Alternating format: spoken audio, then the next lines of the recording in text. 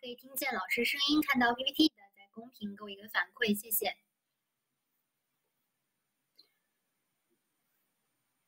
Hello，Hello，大家晚上好。好，没有问题啊啊，咱们就开始今天的正式的课程了。那咱们今天呢，已经是复习课的第七节课了哈，总共应该是十一节课哈，就已经快是接近这个呃结尾的部分了哈。然后呢，还是来复习一下上一节课啊，我们学过这些单词，同学们掌握的怎么样？来，首先第一单词 smother。Smother 是妈妈，大家想的是武则天为了上位不惜闷死了，使自己的这个孩子刚刚出生的这个小女儿怎么样的窒息而死，对不对？哎，所以说它表示的是窒息啊，捂死。第二单词 obscene，obscene，哎，我不看，我不看，我不看哈，这个画面太辣眼睛了，所以说 obscene 它指的是形容词，哎，下流的、淫荡的。第三个单词 censorship，censorship。想一想哈，censor 指的是有感觉的人，有感觉的人做了这个审查官，对不对？检察员，所以说加上 ship 表示是制度连起来审查制度。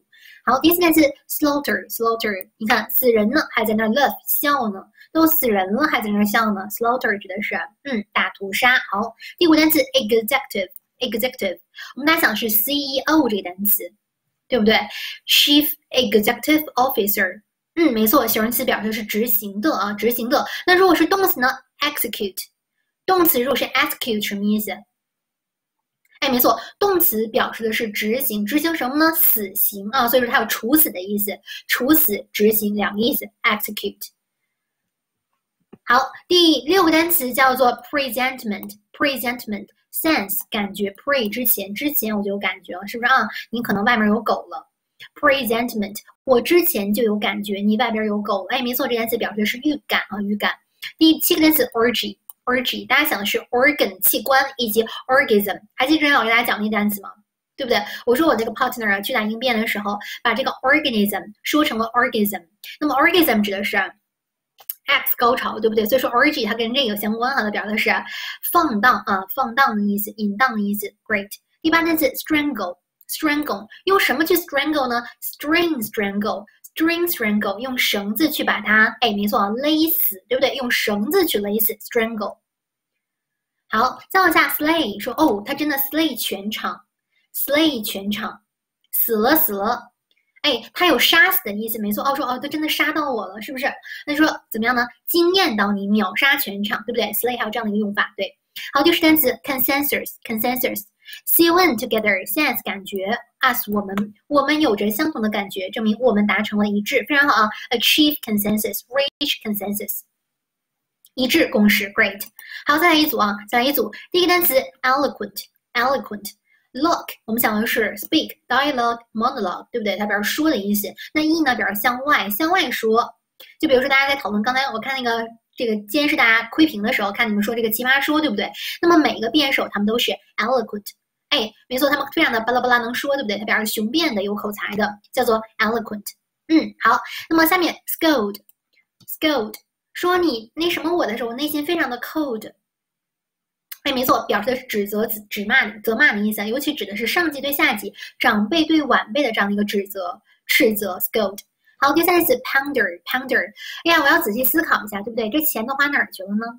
怎么就成为了这个花呗女孩了呢？对不对？ponder，我怎么胖的？胖的，胖的啊！我怎么胖的？哎，没错，它表示的是思考、沉沉思哈，思考、沉思。好，第四个词 appendix，appendix。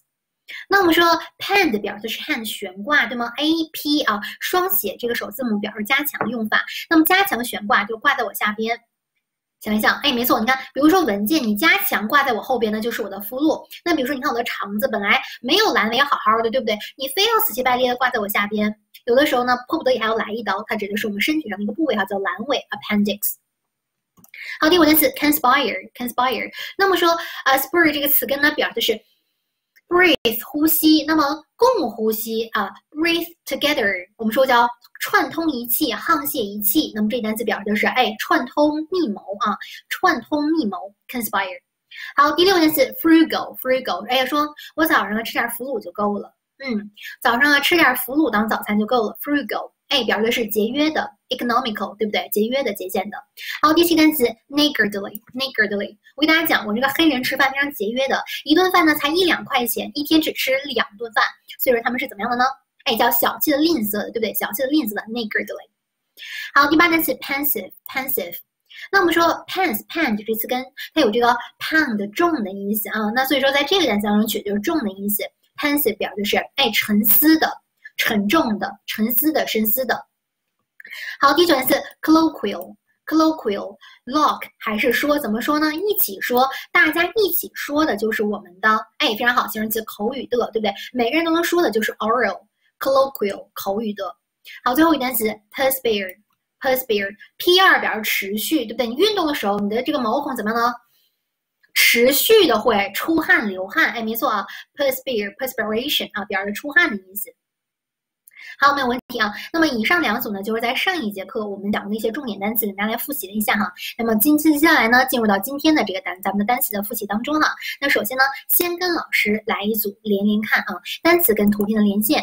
来，首先第一个单词 fridge。Fridge，一二三四，哪张图片？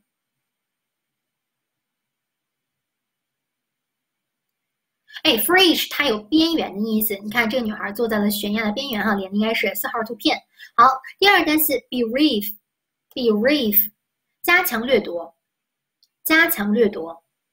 嗯，失去了孩子的妈妈哈，bereaved mother，失去了孩子，失去了亲人的妈妈啊，连的是一号图片。好，第三个单词 enchanted。Enchanted，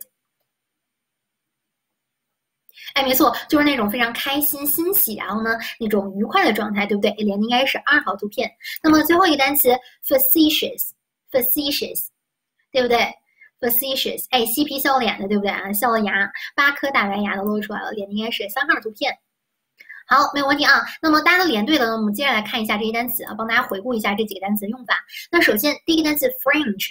Fringe 边缘，那么你看这个单词除了边缘以外呢，还有刘海儿的用法啊，它是一个英式表示刘海儿用法，而美式刘海儿它叫做 b a n 啊，美式的刘海儿叫就是那个 b a n b a n b a n 那个 b a n 但是呢，如果你要是不在美国用这个单词的话，它就是一个骂人的话啊，所以说大家一定要切记使用这个单词。啊，在美式英语当中 b a n 它就是有刘海的意思，但是在其他的这个，比如英式英语当中，就是骂人的话不太好的话哈，那么你可以用这个 fringe 表示刘海，你看刘海是不是就是头发的边缘？头发的边缘部分哈，就是我的刘海儿。比如说，你看奥黛·赫本就是一个这个非常典型的这个小刘海儿，就是它亘古不变的这样的一个经典的造型，对吧？好，那么我们来看看这单词造句子，说 My fringe needs trimming. My fringe needs trimming. 同学们给老师翻译一下啊，这句子什么意思？Trim 这单词什么意思？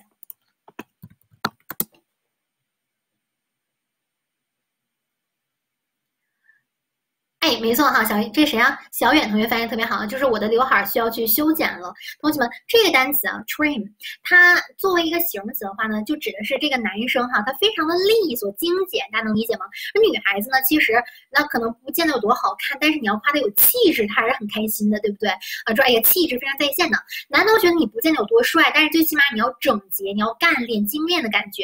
那么夸男生最好的一个。单词，我认为哈就是 trim 这单词，就是精简修修剪的非常的规整的样子。那么作为动词的话，它就是修剪的意思啊。那你看怎么去记？大家可以通过这个 tree 去注记。树木需要修剪啊，tree trim trim tree 可以这样去注记。我的刘海需要修剪了，my fringe needs trimming。嗯哼，好，那么同义词有谁呢？啊，你看都是这个之之之啊之结尾的，一个是 edge，一个是 verge。那么搭配的介词呢，全部都是小词 on 哈，不管是用哪个单词，在什么什么的边缘，我们搭配的都是 on 这个介词，on the fringe of，on the edge of，on the verge of something，在什么什么东西的边缘，OK？好，对，短小精悍。好，那接下来呢，我们来看，除了这个 fringe 可以啊，edge verge 这个吱吱吱结尾的这三个单词可以表示边缘，除此之外还有哪个单词呢？哎，就是我们的 ring 这个单词。那么这单词它来自于哪个单词呢？其实是来自 ring 戒指这个单词。大家看一下，戒指是不是圆圈、圆环形状啊？所以说这个 ring 它指边缘的话呢，它多指的是这个圆形物体的边缘，比如说车胎啊，或者是马葫芦盖儿，对不对？那个边缘叫做 ring，圆形物体的边缘。大家想是戒指 ring 这个单词。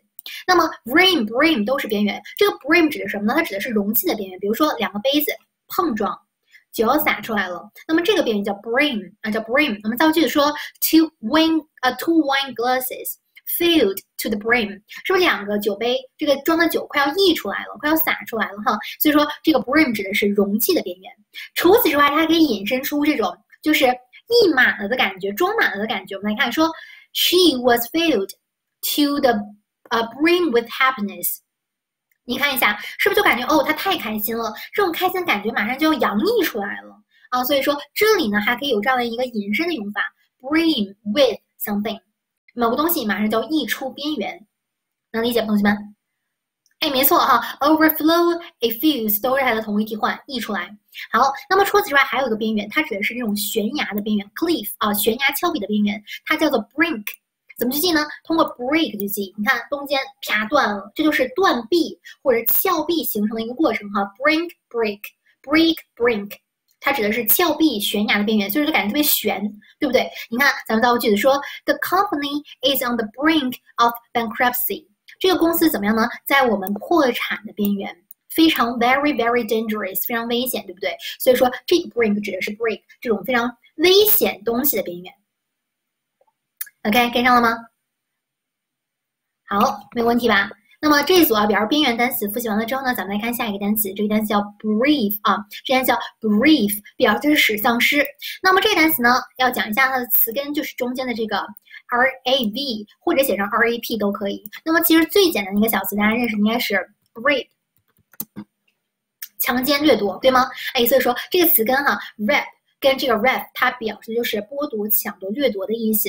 那你看 be 放到前面，同学们，be 作为这个前缀的话，它表示加强、加强的用法，就是加强去抢夺你、掠夺你。所以它表示是使丧失。你看吧，抢走了你就丢了嘛，你就没了，你就丧失了，是不是 bereave 表示丧失。那你要重点记得什么呢？它搭配的介词是 of 这个叫词，这个是它的考点啊。bereave somebody of something，剥夺某人某物。那么它的用法是不是就特别像我们的这个 deprive？这单词是不是也有剥夺的意思？是不是也有使丧失的意思？对吗？哎，所以说我们的 deprive 搭配的介词呢，也是小词 of，剥夺某人某物，deprive bereave somebody of something。大家可以把同义替换记在下边哈。那我们来造个句子说，Nothing can bereave us of such sweet memories。没有人可以剥夺咱们这种美好的甜蜜的记忆。嗯哼。好，那么我们现在知道这个呃 r a v 跟 r a p 表示剥夺这样的一个词根的意思之后呢，我们再来拓展几个同根词哈，比如说下一个单词 ravish，ravish，你看是不是还是剥夺你？然后呢，i s h 动词这样的一个后缀哈，剥夺、使销魂、强奸。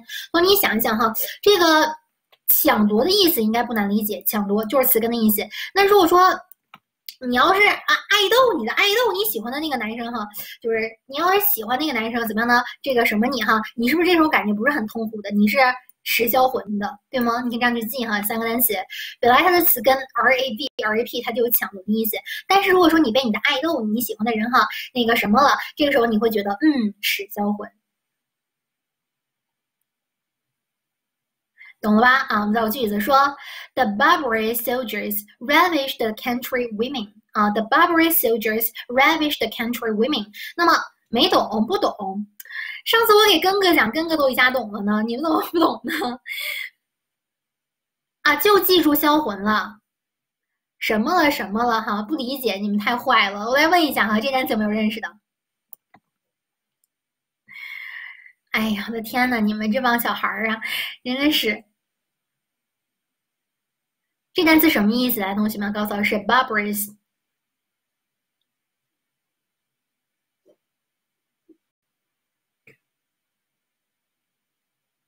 哎，没错，它表示野蛮的。给大家讲一下，这单词特别有意思，它怎么来的呢？O U S 是一个形容词的词尾哈，barbar 啊，barbar。你看东北人是不是有的时候说话你在叭叭啥呢？听不懂啊？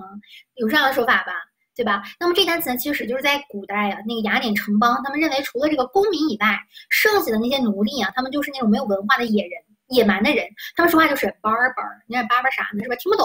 所以说 barbar 之后加了 o u s，barbarous 变成了一个形容词，指的就是野蛮人啊，野蛮人的，能理解吧？所以说你看，是不是那些野蛮的士兵？然后呢，嗯，那什么啊，抢夺了或者是强奸了这个城乡村里面的妇女。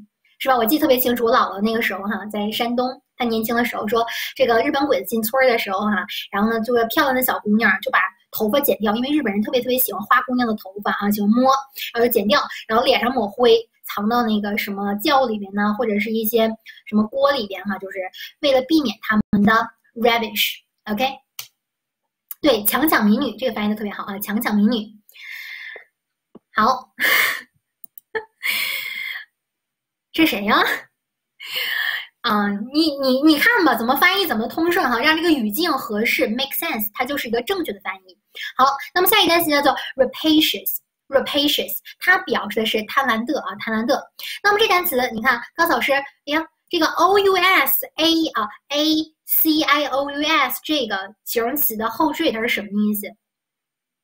哎，没错，它表示的是 many many，对不对？你看，还是啊，抢抢怎么样？抢的很多的，你抢的很多，抢钱抢的很多哈，你就是贪婪的啊，贪婪的 rapacious。好，下一个词 rapt，它指的是那个抢夺你的注意力，rapt your attention，OK，rapt your attention 就是全身心的投入进去哈，全神贯注的入迷的。那么 enrapture 还是加强去抢啊，加强去抢夺你这样的注意力，让你开心，让你狂喜，enrapture。好。没错啊，等于那个 grade。好，再往下呢，我们来看下一个单词，叫做 enchant。enchant 这个单词词根叫做 cant 或者 chant，表示 sing 唱歌的意思。嗯，同学们哈，就是我不知道大家有没有这样的一个感觉，就是如果你真的遇到这个让你心碎的、心醉的，然后那个就是特别着迷的人的时候，你你会不会觉得就是耳边会响起一些歌曲？有这样的情况吗？不会哈。你为什么这样残忍的拒绝了我？太少了，嗯，遇到真爱的，就是我忘了是在哪个歌里听到的，还是谁在文学作品当中那种写法？说就是见到你的时候，就是感觉就耳边会响起那些就是很美妙的歌曲，想你单身情歌。可惜不是你哈，或者是在梅梅这首《In》梅，当大家说很梅梅，没对，没错啊，梅梅有首歌就叫做《Enchanted》，那这首歌里有个歌词就是 I will echo your name until I see you again，我耳边一起一直会想起回荡你的这个名字，直到我下次见到你为止，对不对？就像是在你耳边唱歌一样，让你心碎，让人 sorry 不是心碎啊，让你心醉，让你着迷，Enchanted。啊，那么这个单词呢，加上 i n g 之后，就变成一个令你怎么怎么样的哈，令你感到喜悦的，令你感到迷人的，令你感到妩媚的。e d 呢，就是你本身怎么样呢？像中了魔法一样的，着了魔的，欣喜的，极乐的，然后呢，狂热的。好，然后呢，这个单词啊，那个 梅梅这首歌哈，梅梅这首歌大家听过吗？啊，它这首歌叫 Enchanted，就是见到你之后，我就像中了魔法一般的。这首歌的来源是这样的，就是梅梅不是交一个男朋友就想写一首歌吗？交个男朋友哈，分手的这首歌，然后纪念一下。这个人呢，他写给的是谁呢？他写给的是美国独立音乐人，叫做 L City。嗯，L C T，他俩并没有真实在一起。就是梅梅见到他之后，哎，发现英雄之间惺惺相惜哈，就感觉是遇到了这个千载难逢的知己，就写了一首歌，就是我见到你那一刹那呢，就像是中了魔法一般。我认为是非常非常好的这个表达的，嗯，爱意的一个句子啊。嗯，对。然后呢，不瞒大家说，这个是这个这个是初恋，然后送给我的一首歌，对吧？就是他，我第一次接受这首这首歌是我的初恋给我听的。当时我就觉得，哇，这歌词写的太美好哈！Enchanted，见到你像中了魔法一般。你看，一般来说咱们会说，嗯，I'm very glad to meet you，或者 I'm very nice to meet you，见到你很开心。但是如果说你把那个 nice 或者是 glad 换成 enchanted，你就会觉得这感觉完全不一样，对不对？见到你就像耳边响起的音乐一样着迷的。说出你的故事啊，然后给大家来唱一下这首歌吧哈，这首歌特别好听，很多同学因为老师唱过这首歌呢，然后买了那个网易云的那个黑胶会员是吧？还下了血本的哈，给大家唱一下高潮部分啊，它的这个高潮的副歌部分，说。This night is sparkling, don't you let it go.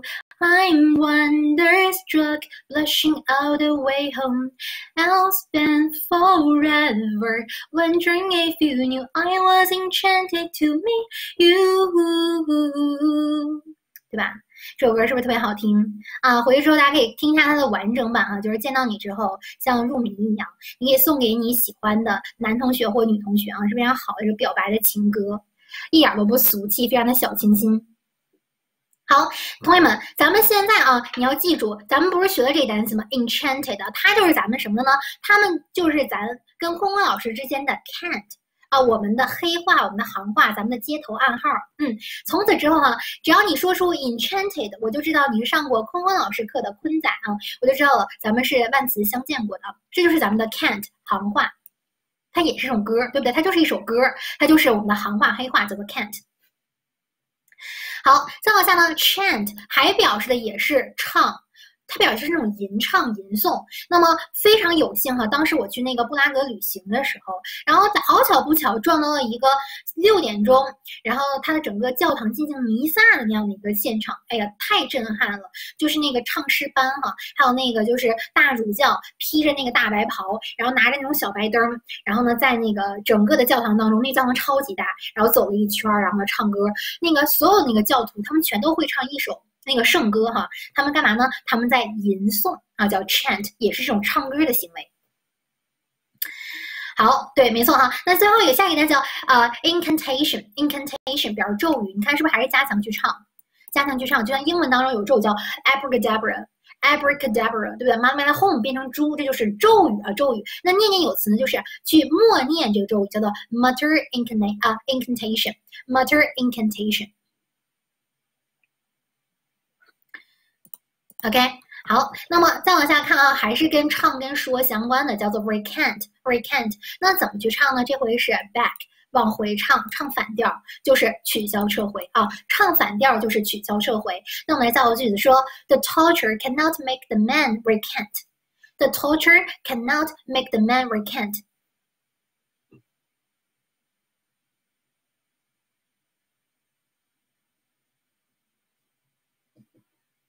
怎么去发音呢？七七同学不不要生气啊，咱们可以再听听录播，是不是这个困难呢，并不会让这个男人怎样的屈服，对吗？你看这里是不是翻译成屈服，或者是收回他曾经付出的努力啊，什么什么的，是比较让他这个句子可以 make sense 说得通的。放弃，然后 give 这件事情是不会让男人收回他曾经的努力的，收回他曾经的这个意志力的，对不对？不会让他屈服的。嗯，很好。那么这单词 recant 唱反调，取回、取消、收回都会有哪些同义词呢？我们来看一下啊，以下四个都是它的同义词。第一个 recall，call 表示的是，是不是跟说相关呢？OK，那就是把曾经说过的话怎么样呢？收回来。那么如果你手机已经调成英文版本的话，你会看到这样的说法，叫做 you recalled a message。You record message，你撤回了一条信息，对不对？嗯哼，对，在网易云上可以搜到啊，网易云上。嗯，好，那么这表示往回喊，往回收哈，往把收的话给它喊回来，表示是取消撤回。那么再往下，revoke 这单词大家学过吗？这之前跟给大家讲这单词吗？revoke。没错，回忆也是 recall，recall the memory，对不对？所以这单词两个意思，一个是是啊，你回忆起来，一个是把那东西取消、撤回回来。哎，没错，这个 voke 啊，不管写成是 v o k 还是 v o c，它其实都等于我们的 voice。哎，是跟声音相关的，对吧？还是跟喊、跟说相关？所以说啊，它还是说把之前说过的话怎么样呢？给它喊回来啊，revoke，取消、撤销。再往下，withdraw，对不对？with 表示 back，向回拉，向回拉还是取消、撤回的意思。比如说取钱叫做 withdraw money。OK，最后一个 retract，tract 表示就是拉的意思。这个词根，比如说你看我们说 distract，表示分散注意力，distract my attention，是不是要四面八方去拉，扯动你的这个注意力，对吗？那 retract 就是向回去拉，还是表示撤回的意思，撤回、取消、收回。OK，这几个大家都记住了吧？再说一遍哈，recall 往回喊，撤销取消；revoke 还是把说的话往回喊啊，取消撤销；withdraw 向回拉，取消撤销；retract 向回拉，取消撤销。嗯，没错，撤军也用的是 withdraw 这单词啊，撤军叫做 withdraw troops，withdraw troops 也是往回拉的一个动作，对不对？把军队从某个地方给它拉回来。好，没有问题啊，咱们继续喽。那么下面呢，这个单词叫 facetious，facetious 表示的是诙诙谐好笑的、嬉皮笑脸的、爱爱开玩笑的。你看这单词是不是 face 啊？你就可以记这样的一个中文的成语，叫做嬉皮笑脸啊。喜欢跟你嬉皮笑脸的，就是那些诙谐幽默的、爱开玩笑的 facetious。那么造个句子说，Stop being facetious，this is a serious matter。不要跟我嬉皮笑脸的，这是一个非常非常严肃的话题，严肃的事件。对吗？啊，stop being facetious。那么通过 face 这个词根呢，我们再来讲几个同根词啊。第一个单词叫 facet，facet 表示的是小平面。大家看 face 它就有面的意思，对吗？脸就是面。那么 et 告诉老师，这个后缀什么意思？et 这个后缀。哎，没错，它表示是小 small，对不对？比如说咱们的 cigar 是雪茄，cigarette 就是小雪茄香烟。再比如说 statue 是雕像，statute 就是我们的小雕像，想起来了吧？哎，没错啊，就是那几个单词。那么 face 指的是面，那加 et 呢就是小面，对不对？小平面、方面的意思，叫做 facet。那么再往下这单词叫做 deface，deface 这里的 de 大家可以理解成 not。啊，我不要面子的吗？对不对？啊，我不要面子的吗？不要脸，不要脸哈！损坏表面，丢面子。损坏表面，丢面子，deface。我们造个句子说：It is illegal to deface banknotes. It is illegal to deface banknotes。你看小的时候，大家是不是淘气，就喜欢在那个人民币上，面毛爷爷脸上画来画去的，然后折来折去的。但是呢，这是一个违法的行为，对不对？你不要损坏我们纸币的表面，deface banknotes。OK，好，那么下一个单词呢，还是跟 face 相关，叫 efface，efface。那我们来看这单词 e 是表示 out。你看，同学们，女同学卸妆是一个什么过程呢？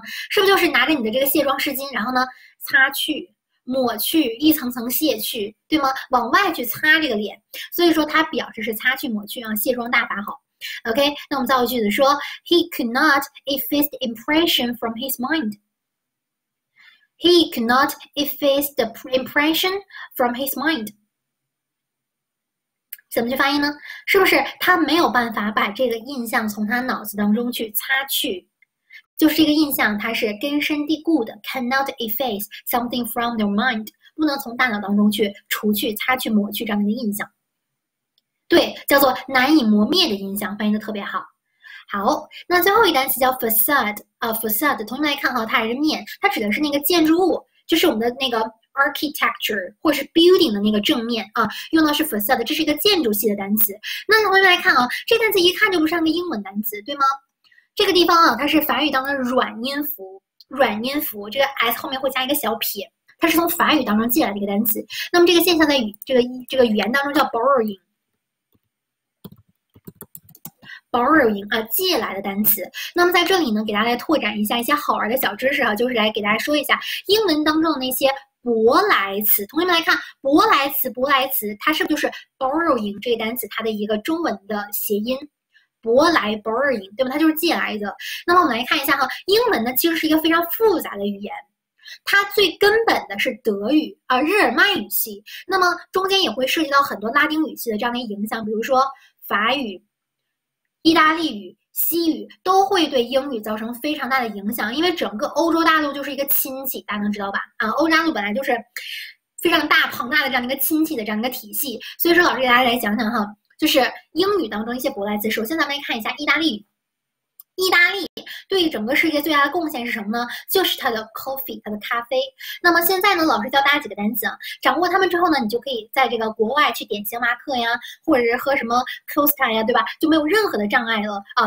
咖啡里面的单词呢，多跟意大利语相关。比如说，咱们首先来了解一下这个星巴克当中不同的杯型，用英语都怎么去说。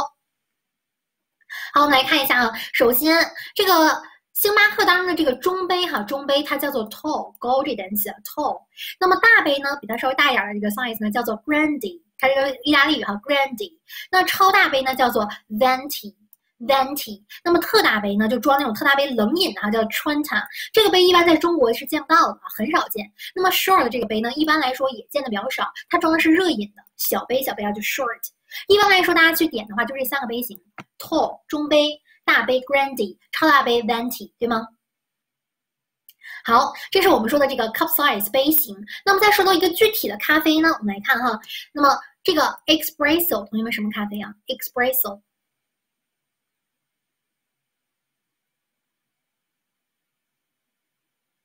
哎，没错，它不是雀巢。它是意式浓缩，同学们来看啊，它就是所有咖咖啡的基数。意式浓缩一般来说呢，不是十五毫升就是三十毫升。我有这个意大利的朋友，就是每天他要不喝咖啡他能勾带的那种，对意大利人来说，哈，咖啡就是这个他们生命当中至关重要的这样的一个不可缺少的东西啊。Espresso 意式浓缩就是最基本的一个咖啡，相对来说价格也是比较便宜的。那么现在老师往里面加点牛奶，它就变成了 latte。latte 什么意思？哎，没错，它就是我们的拿铁。比如大家可能喜欢喝一些什么呃香草拿铁呀、榛果拿铁呀、红茶拿铁，对不对？哎，它的基本都是 espresso 意式浓缩加一些 milk 牛奶，就变成了我的 latte 拿铁。好，再往下呢，americano americano 这是韩国人最喜欢喝的。就是如果大家去韩国旅行，你会发现一条街上如果开了十家店，有八家店都是这个 cafe 都是。咖啡店对吗？那么韩国人最喜欢喝的就是 Americano，叫做哎美式咖啡，长是不是像 American 这单词？其实就是 espresso 兑水啊，特别的苦还特别的淡，我也不知道他们为什么喜欢喝这种口味儿哈。就是意式浓缩兑水就变成了 Americano 美式咖啡。好，再往下叫做 Mocha，Mocha。没错，听发音就知道，摩卡，摩卡就是里面要有这个 milk，还要有这个 chocolate，我们的巧克力啊，再加上意式浓缩啊，基本上就构成了摩卡咖啡，摩卡。好了，那我刚才看到有人说，老师我喜欢卡布奇诺，cappuccino。那么 cappuccino，cappuccino，你来听一下，是不是也是卡布奇诺这样的一个呃中式直接翻过来两个说法啊？卡布奇诺就上面会带拉花的那种，比如拉了一个叶子呀，或拉一个心心哈，就能做拉花那种，上面会有 foam。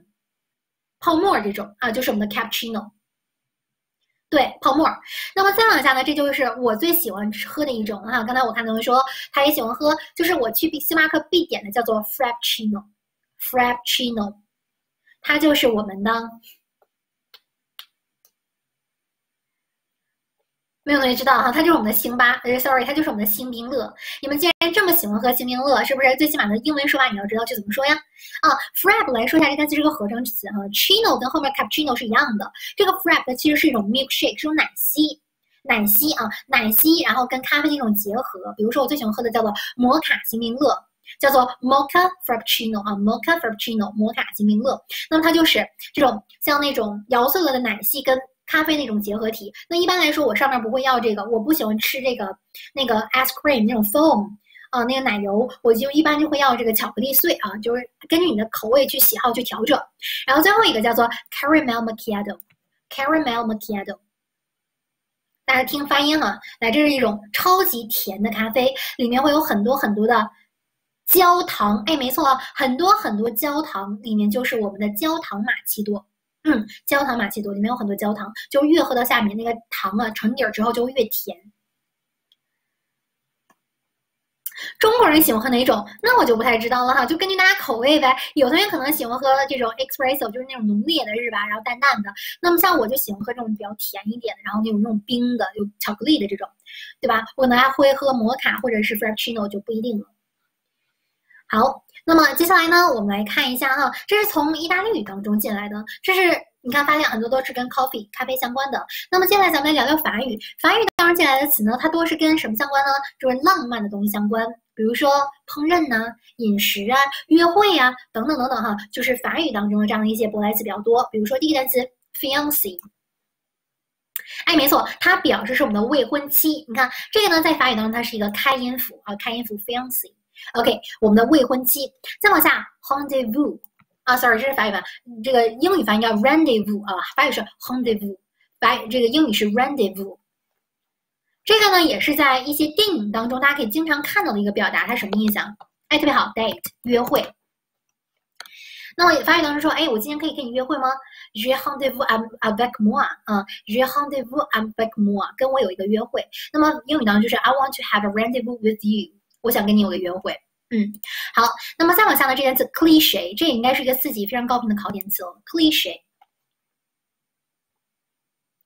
哎，没错，它表示的是陈词滥调啊，陈词滥调。好，等于我们的 stereotype，对不对？等于我们的 stereotype。好，再往下，entry，这单词有大家认识吗？entry，。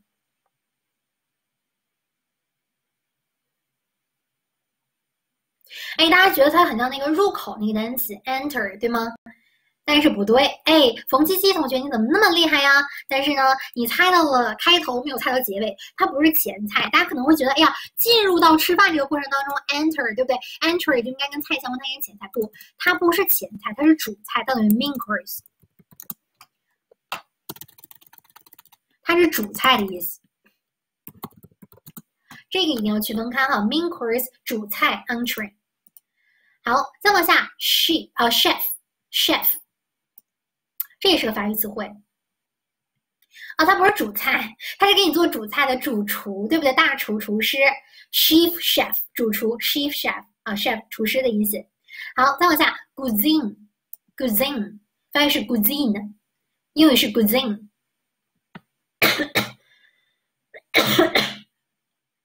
哎，没错，它表示的是佳肴、烹饪或者料理的意思。比如说 Chinese cuisine 叫做中式料理，比如说我说 Japanese cuisine 就是日料，大家能理解吗？哦它是表示料理、烹饪的意思。最后一个 cafe，cafe，哎，没错啊，它表示的是咖啡馆的意思。同学们能理解吗？它等于那个咖啡馆，对。那么，呃，咖啡叫 coffee，这个单词在法语当中，cafe 它确实表示咖啡的意思，但是在英文当中它表示咖啡馆的意思啊，cafe。好，那么以上呢就是老师给大家拓展的哈这些英文当中的一些舶来语，但是呢在英文当中它们使用频率又很高，尤其是在生活当中以及一些影视作品当中，希望大家看到，下次看到的时候可以把它识别出来，想起金老师给大家讲这些东西啊。啊，哪个是注音符号？这个，这个不是，这个是它的一个开音符。它在法语当中加上这个，它发的是 a 的音，cafe，它的读是 a 的音，它决定是单词的发音。啊，英文这个这个是什么？叫 rendezvous，rendezvous 啊，它就是一个法语的发音组合，它读成 a，然后呢，这个读成 u，啊，v，rendezvous。好，刚才那组单词大家掌握了吧？没有问题啊。好了，那咱们再来一组这个找相同的游戏啊，请告诉老师跟我们所给单词 scorch 意思相同的一项：A ignite，B purgative，C sear，D gullible。好，没有问题啊。大家选的是三 sear 这单词，什么意思啊？scorch 什么意思？哎，没错，它表的是烤焦啊。炙热的意思。好，我们来看一下这个单词 scorching 作为一个形容词的话，它表的是灼热的。怎么去记呢？scorching，scorching，烧烤吃，烧烤吃，对不对？烧烤，烧烤，我们一般要把它烤焦。scorch，烧烤啊，烧烤是枯萎。那么，若变成形容词 scorching 呢，就有这个灼热的、非常炎热的意思。比如说 scorching sun。灼热的太阳，scorching heat，这种灼热的热热浪哈，是不是？然后 scorching critique 就变成一个比较抽象的用法，就是哎，给我给到我的批评怎么样呢？是让我脸上发烫的那种非常严厉的批评，对不对？那种炙热严厉的批评叫做 scorching critique。好，那现在呢，老师再给大家教一个非常典型的这种对立式的表达，叫做 scorching heat and freezing cold。如果翻译成中文，你想一想哈，咱们可以把它翻译的非常的文艺。它是一个非常美妙的这样的一个表达。夏天的风，嗯嗯嗯嗯哇，好像确实有这种灼热的感觉，是吗？啊，冰火两重天，这翻译的其实挺好的哈。啊，水深火热，差不多就是酷暑跟严寒。同学们，它就是酷暑跟严寒的一个非常文艺的说法，scorching heat。叫做酷暑，freezing cold 叫做严寒。比如说你学习的时候就不畏这种严寒跟酷暑艰难跟困苦，对不对？Scorching heat and freezing cold。好，那么动词 scorch 啊，scorch 表示是烧焦跟枯萎的意思。我们来造个句子说：The meat is likely to scorch if you leave it cooking too long。如果说这个肉，你看要是放到这个炉子上时间太长，这个烘焙的话，是不是就会烧焦了，对吗？就会烤焦啊，叫 scorch，烧烤吃烤焦。同义词有谁呢？第一单词 singe，singe 大家想是 sun 阳光，太阳去烧烤的话，它不可能说把这东西烧焦，那不是火呀，对不对？所以说它是微微的烤焦啊，微微的烧焦。那么造个句子说，the onions too hot，呃，you will singe the dress。如果说这个加热的这个呃熨斗它太烫的话，怎么样呢？你就会烤焦你的衣服。比如说之前咱们那时候熨斗啊，就是一块铁是吧？然后你要是烤的时间太长的话，它就会留一个那种。黄色的印记就烧焦了，微微的烤焦，singe sun sun singe。OK，好，那么下面这个单词呢，哎，它表示也是跟枯萎相关的，干枯相关，叫做 parch 啊，parch 怕湿。你看怕湿没有水嘛，没有水分就是枯萎啊，parch 是枯萎。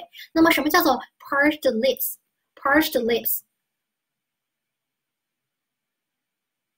比如说冬天来了，对不对？然后呢，空气当中一些北方缺乏水分，咱们这个嘴唇呢，咱们的 lip 就会干燥，对不对？就是那种干燥的嘴唇，嗯，干燥的嘴唇，干裂的嘴唇，非常好啊。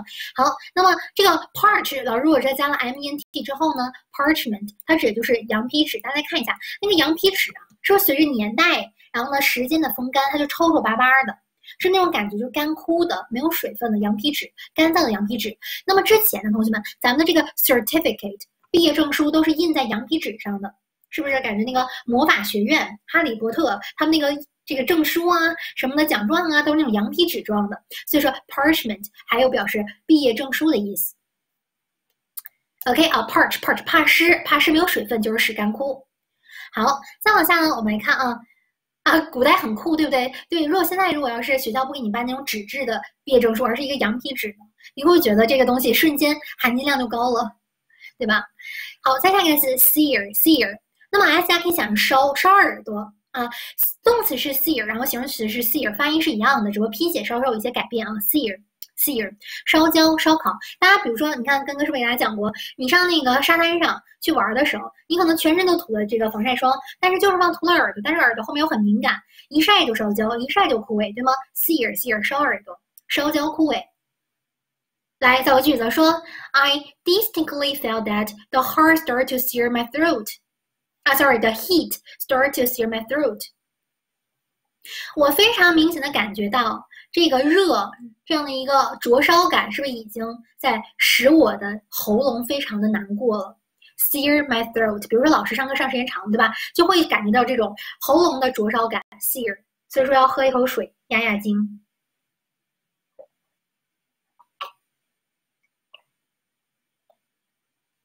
好，同学们跟上了吗？啊，Sear my throat。好，那么这是我们表示。烧烤的单词啊，灼热的单词，scorch 烧烤去，singe sun 太阳，微微灼烧，parch 怕是没有水分是干枯，sear 烧耳朵，烧耳朵灼烧枯萎。好，没有问题啊，再往下，下一个单词叫 ignite，ignite 同样表示的是点燃的意思啊，表示点燃也是跟烧相关的。那么这单词怎么去记呢？一根蜡烛燃了一个 night，我们叫说 good night 会使用到这个单词，对不对？Good night, good night. Ignite，一根蜡烛燃烧了一夜，所以说 ignite 表示点燃。那我们来造个句子说，His words ignited their anger。他的话语瞬间点燃了他们的愤怒。所以说，你看这个点燃，它不只仅仅指这个蜡烛啊、火柴的点燃，它更指的是这种抽象意义上的点燃啊。它的语言怎么点燃了他们的愤怒，激起了他们的这样愤怒？Ignite，没错，情绪上的愤怒。好，同义词有谁呢？哎，同学们来看，Kindle。Kindle 就是咱们的阅读器呀，咱们的这个电子书。那为什么它有点燃的意思呢？大家可以这样去记：Kindle the interest of reading，Kindle the interest of reading，是不是燃烧起你阅读的兴趣，对吗？所以说我现在不看纸质书了，我重点来看一下我的电子书，每天用 Kindle 去读两本书啊。Kindle Kindle 点燃点燃你阅读的这样的一个热情，点燃你阅读的这样的一个兴趣。对，好了，那么除了此之外呢，还有这个点燃易燃的这样的一个单词，叫做 combustion。Combustle，这单词来看，中间这个 bust 是不是像 burst 燃烧？怎么燃烧呢？一起燃烧，一起燃烧很容易着起来，对不对？表示的是形容词易燃的名词易燃物。，combustible 一起燃烧，证明它们非常容易点燃，对吗？形容词易燃的名词易燃物。好，那现在呢，老师把它变成一个抽象名词，加上 tl-n 啊，结尾的这样一个抽象名词后缀，表示就是名词燃烧。Combustion，combustion。好了，给老师翻译一下，什么叫做 spontaneous combustion？Spontaneous combustion，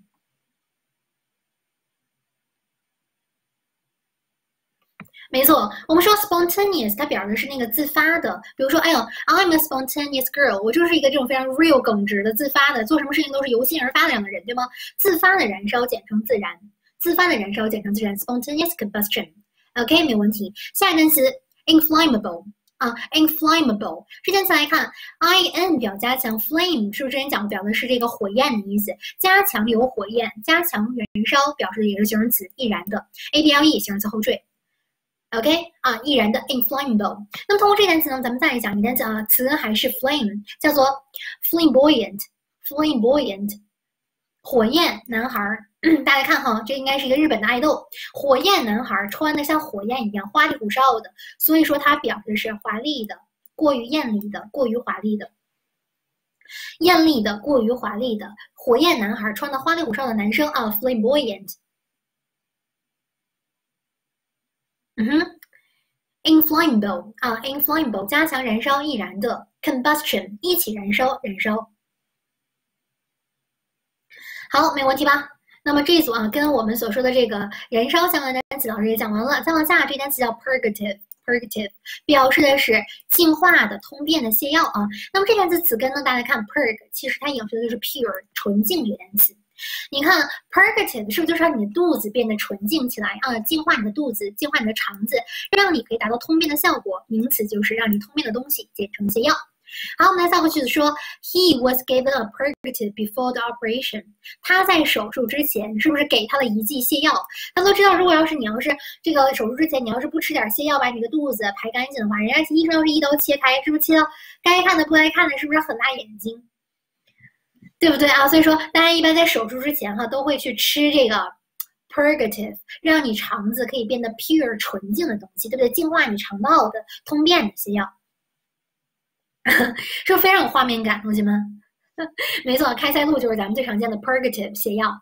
好，那么这个单词呢，从 pure 哈演变的最简单的一个动词就是使它变得干净，purify，f a 结尾的这个动词表的是使什么什么东西怎么样啊？使它变得干净、净化，purify。那么什么叫做 air purifier？air purifier。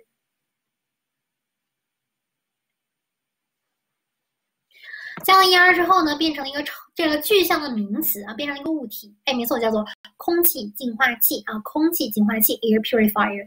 那么什么叫做 purified water？purified water。哎，没错，就是净化过的水叫做纯净水啊，净化过的水叫做纯净水。好，没有问题啊。下一个单词 expurgate，expurgate。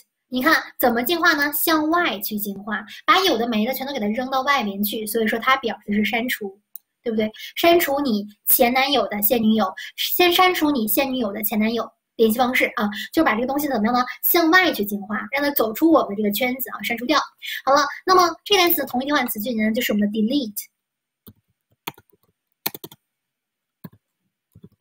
delete，delete。没错，向外去净化它，删除这个人，delete expurgate。好，再往下呢，这个词叫做 purge 啊，purge 同样表示净化，它就等于这个 pure 啊，purify 净化 purge。那么老师呢，通过这个泰坦尼克号的这个故事呢，教大家去巧记一下以 ge 啊这样一个吱吱吱结尾的这些单词。来，首先啊，我们一起跟着这个 Rose，跟着这个 Jack 登上我们的泰坦尼克号。首先，Rose 擦好 hoosh 啊，Rose 擦好。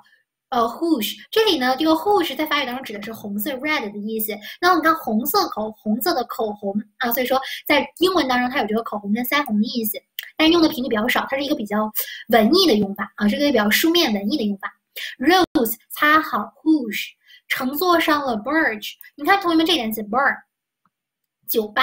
那我们都知道，在那种非常豪华的游艇之上，是不是都是像那种酒吧或者喝酒的地方？啊，所以说有喝酒地方的游艇叫做 barge 啊，barge 有 bar 的 barge，游艇非常 large，游艇非常的大，对吗？开始是 forge，forge 指的是前行，为什么呢？因为 forge 这个前缀它有这个 forward 向前的意思啊，所以说 forge 指的是前行，稳步前行。后面海浪 surge，surge 表示上升的意思，汹涌，海浪上升，汹涌而起。故障没有 purge，你看 pure 是不是表示清除的意思？让它变得纯净啊，purge 表示清除。再往下，游艇撞上 gorge 的 verge，我们刚才学过了，verge edge fringe 有边缘的意思。那么 gorge 指的是山峡，山峡的边缘怎么样呢？最终被海水 merge，merge 表示 sink 沉入海底，对吧？最终这个游艇泰坦尼克号呢，怎么样呢？沉入了冰冷的海底。好，所以说呢，咱们再把这个单词啊，再把这个单词给它重新的利用这个口诀给它顺一遍。Rose 它好 h o o s h 乘坐上了 barge，游艇非常 large 很大，开始就是 forge forge 向前，后来海浪 surge 向上汹涌而起，故障没有 purge purify 清除。这个游艇撞上 gorge 山峡的 verge 边缘，verge edge fringe 都有边缘的意思，最终被海水 merge sink into the sea。沉入到海底。OK，好了，这次单词啊，教大家巧记了这个以 ge 结尾的一系列单词。好，跟上了吧？是吗？这个我记着，我就是我人生上的第一堂，第一堂在线直播课哈，就就就收到了这种评论。Gorge Gorge。没错，Titanic 确实有巨大的意思，对吧？老师之前讲过，泰坦尼克号当时建造这个船的时候呢，就想的是建造一个世界上最大的这样的一个游艇，所以说 Titanic 本身就有巨大的意思。同意思，比如说 gigantic、gargantuan、colossal，对吧？大家想起来了吗？都表示的是巨大的。好，没有问题啊。接下来继续往下，那么下面的这个单词叫 purgatory，purgatory 表示名词炼狱。大家都看过那个但丁的神曲吗？但丁神曲当中，哈，就那十八层地狱是怎么 啊？那这个炼狱是怎么构成的？就是用来净化你灵魂的，对吗？Pure your soul，净化你灵魂的地方就是炼狱，叫做 purgatory，purgatory。嗯，那么反义词把它变得纯净的反义词什么呢？就是把它弄糊，让它模糊掉。反义词第一个 blur，blur。那么这个单词，同学们就必须要借助到咱们的这个美图秀秀了。同学们，这个之前老师给大家见过吗？老师之前讲这个美图秀秀这个梗吗？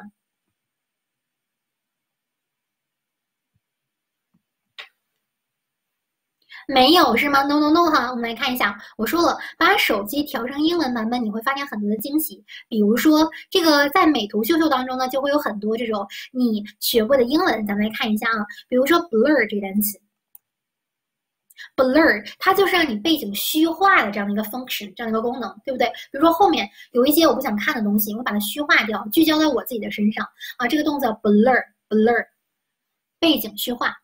再比如说，你看，同学们通过美图秀秀可以学到很多单词。什么叫 sticker？sticker 单词什么意思？我们都知道 stick 它有贴的意思，对吗？那么 er 什么意思啊？把它变成一个具象的名词。哎，没错，它表示的是贴纸的意思。比如说，你看，这个大家截屏的时候会截到很多公公老师那种丑照，是吧？然后有良心同学，对吧？内心会痛的同学，他为了给老师贴个猪啊，贴个狗啊，贴个猫啊，贴个兔子之类的，是不是？哎，就给我遮遮丑，叫 sticker，贴上去的一个东西就是我们的粘贴，就是贴纸。理解吧？然后再比如说，你看这个单词，smooth，smooth，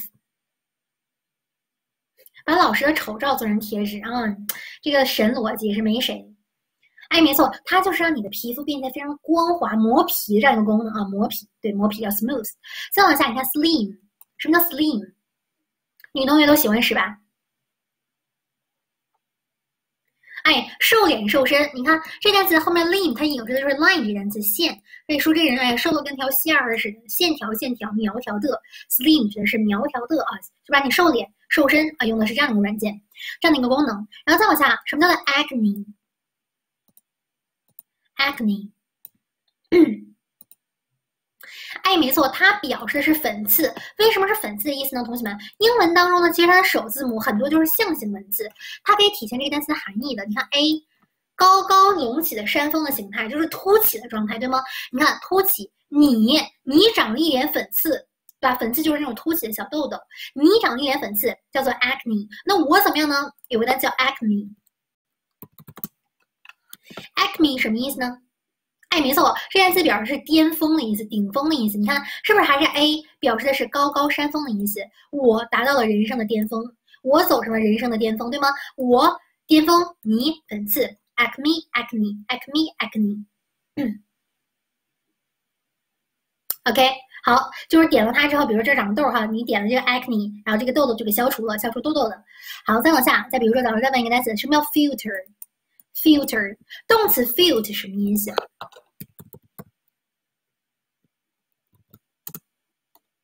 啊，动词，sorry，动词 filter 什么意思？哎，没错，它表示过滤的意思。那么作为名词呢，filter 表示就是我们说滤镜，对不对？比如说这张图片，哎，一个滤，这个后面背景这个颜色有点暗暗的，那我加一个滤镜，对不对？让它变得明亮一些，叫 filter。好，再往下，最后一个单词，mosaic，mosaic。哎，没错，它就是我们的马赛克。我们说，哎，这个地方打个码，是不是见不得人的地方打个码？mosaic。那么这单词老师会在待会儿的单词当中会讲它的用法啊，现在不着急，先留个印象，马赛克 mosaic。好，这是我们说 blur 这单词，你可以在生活当中就可以遇见它的用法。那再往下，这单词 blear，blear 不怎么样的 clear，不干净就模糊，不干净模糊。比如说你看照相的时候，哎呀，这镜头怎么不干净的模糊了，对不对？就可能上面会有脏东西，不干净就模糊，不 clear，blear。那么它的名，它的形容词呢，bleary 模糊的，动词 blear，形容词 bleary 加 y 之后变成一个形容词。好，这个单词没有问题吧，同学们？主要记得是 purge 这个词根哈，它表示是 pure 是纯净的意思。好，那再往下呢？啊，这个单词叫做 gullible，gullible 表示的是轻信啊，轻信。那么这单词，我相信根哥一定跟你们对过它的 can't，对吧？根哥给你们的看的就是 gullibility，咱们的看的就是 enchanted。这单词它是不是很魔性？叫做哎，没错哈，gullibility 呀，傻了吧啦唧，对吧？gullibility 呀，傻了吧啦唧，说这人傻了吧唧的，别人说啥都信。比如说最近双十一的时候，对吧？很多骗子给我打电话，但还好我机智，是吧？就没有轻信他们，没有被 gull，没有被欺骗啊。gullibility 傻了吧唧的，别人说什么都信，所以说名词表示轻信。那形容词呢？gullible 表示就是轻信的。作为动词 gull 这就是欺骗，欺骗。那除此之外呢？还有我们这个海鸥的意思，你看，咕咕咕咕咕叫的是海鸥啊，咕咕叫的是海鸥 go。好，那么下一个词叫做 allow 啦啦啦，对不对？啦啦啦啦啦啦啦啦啦。当你听这样的歌曲的时候，你就可以安心的、安静的入眠了。所以说，low 指的是入眠、安静的意思啊，入眠、安静。我们造个句子说，This is just a lull before the storm。This is just a lull before the storm。这就是暴风雨来临之前的那一丢丢的安静，对吧？比如说别人要发脾气之前，可能就是那种非常安静，静对吧？你就觉得大事不妙，他要生气了，这就是 low 啊，安静，安静，low。对，暴风雨来临之前的安静。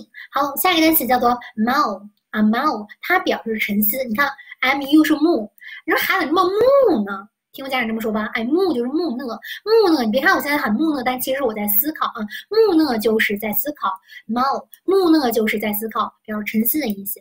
我们造个句子说，Let me uh mull the uh mull this over，哎不对，怎么啊？Let me mull this over this for a while，我这应该打错了。啊，不对不对，我这应该打错哈，没有后面这个 this，我觉得怪怪的。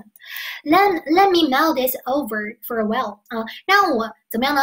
先沉思一下下，考虑一下这个事情啊。Let me mull this over for a while，嗯，沉思一下。好，然后呢？对，想一下为什么？没错哈。那我们来看一下，表示沉思的同义词都有谁呢？第一单词 ponder，上课是不是学过了？哎，我要仔细思考一下，最近我是怎么胖的？ponder，ponder 哈，我要想一想，我最近是怎么胖的？ponder 造句子，He wanted to think about it, to ponder over it, to decide whether it was the best。我要思考一下这件事情到底是不是最好的，对不对？你看，思考者是不是思考一下明天穿什么衣服啊？因为裸着嘛，思考一下 ponder over something。大家看一下啊，W 的介词是 over，在什么什么之上去思考，在什么什么之上去思考，ponder over something。对，没有错。那么下一个单词叫做 contemplate 啊，contemplate 表示的也是思考、凝思、凝视的意思。那么这单词来看，中间的 temple 是寺庙啊。大家一起去寺庙，怎么样呢？思考。你想想，寺庙是不是那种可以让你静心来思考东西的地方？你不可能上寺庙去吃饭去吧？你也不可能上寺庙去打牌去吧？对吧？那个寺庙呢，安静的那种氛围，佛学的氛围，就是让你去思考。Contemplate，contemplate，一起到寺庙去思考、沉思。没错哈，一休哥。好，那我们造个句子说：All day he did nothing but contemplate。一天他什么都没做，就在那儿沉思呢。放空自己，对不对？沉思、凝视、思考，contemplate。好，那在下一个单词呢，叫做 muse。muse 同样表示沉思、思考，叫做漫无目的的瞎想，就是那种放空了，是不是？上课比如听一听着，风老师讲课，然后开始 muse 了，有没有这样同学？muse about some other things，想一些有的没的。那我来说一下哈，对，没错，这个单词呢来自于古希腊罗马神话当中的缪斯女神。我们经常说，哦，你就是我的缪斯女神。缪斯女神其实不是一个，同学们，她是九个。她是这个我们宙斯的女儿哈，就是她们是文艺女神，就是你可以这样简单理粗暴的理解，就是在天宫当中主管这个文艺活动的，就是文体委员。啊，就是一有这个天天庭当中，比如一排演什么重大的春节联欢晚会啊，他们就是那个导演呢，或者是一些组织人员，就是这样的一个功能啊，叫 Muse Muse 女神。那么 Muse 女神主管文艺，所以你发现由她名字构成的单词呢，多跟文艺相关。比如说同学说到了 music 音乐，对吗？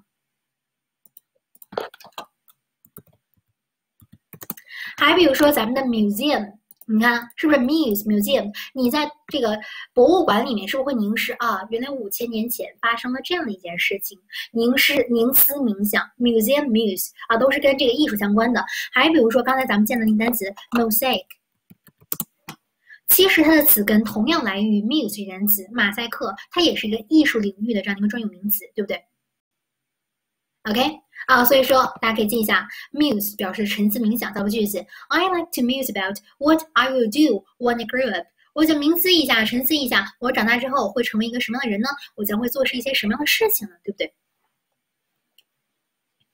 ？OK，再梳理一下哈，这几个单词：gullible。啊，gullible gullibility 呀，傻了吧唧啊，就是轻信别人说话，轻信。low 啦啦啦，听着啦啦，你就可以怎么样呢？入睡了，安静的进入梦乡。no 啊，木讷木讷就是在思考，木讷就是在沉思。ponder 哎呀，我是怎么胖的呢？仔细思考一下。contemplate 在寺庙当中一起去怎么样的凝视沉思。muse muse 女神主管文艺，对不对？还是啊那种 museum 当中去思考沉思冥想。啊，以前想 muse about 我到底上清华还是北大呢？后来想想啊，想多了，是不是？好，那么在下面哈，接下来看由这个 n 啊 u l l 结尾的一系列单词，下一个叫 now，now 前面有 no 就无效，no 不行，对不对？no 就是无效，前面有 no 就无效。我们这样有个短语叫做 now and void，now and void 就无效的意思。好，造句子说 this contract is now and void，这个合同它就是无效的，没有任何用处的。Invalid 无效的。This contract is null and void. This valid, uh, sorry, this tract is val invalid 无效的。好，那么下一个呢？How 同学们看这个单词是不是特别像这个 house 房子？那么对于一些非常大的船来说，比如那种游艇，它其实就是像这个房子一样的功能，对吧？里面可以吃喝拉撒干什么都行啊。像 house 的是船体，像 house 的就是我的 how。OK，最后一个 cow，大家想的是 cut 切这个单词，切掉，你看切切切切猪就是屠宰的，对吗？然后精选，大家想想是不是也是切掉一些不太好的这种边缘化的东西，剩下的就是你精挑细选出来的。OK，cow 切掉屠宰和精选，砍掉屠宰和精选。好，对，void 本身就是无效、空虚的意思，跟 now 无效放到一起还是无效的意思。那我们来看一下，老师把这个又给它放到这个口诀里面，咱们 DJ drop the beat，咱们来顺记一下。咕咕叫的是海鸥，咕咕叫；啦啦啦要睡觉，low。木讷木，对吧？木讷就是在思考，no。前面是 no 就无效，no。像 house 的 hu，house 的 how，船体。砍掉屠宰和精选，cut cow。同学们跟上了吗？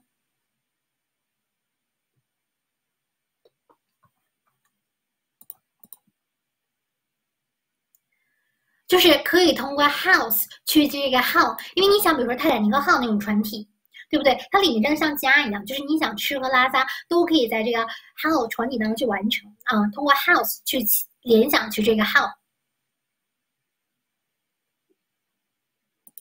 好，接下来呢，咱们把这个单词给大家测试一下。我们来测试一下，首先第一个单词 ignite，ignite 说蜡烛，一根蜡烛燃烧了一整夜，一根蜡烛燃烧了一整夜。哎，没错，它表示的是点燃的意思啊，燃烧、点燃。第二个字 scorch，烧烤吃，scorch，烧烤吃。哎，没错，它表示的是烧焦、干枯啊，烧焦、干枯。在下面 loud，啦啦啦，啦啦啦啦啦啦啦啦，对不对？loud 怎么样呢？啦啦啦，哎，哄你睡觉，对不对？入睡安静，入睡安静。第四个 gullible，gullibility 呀，傻了吧唧，对吧？gullible。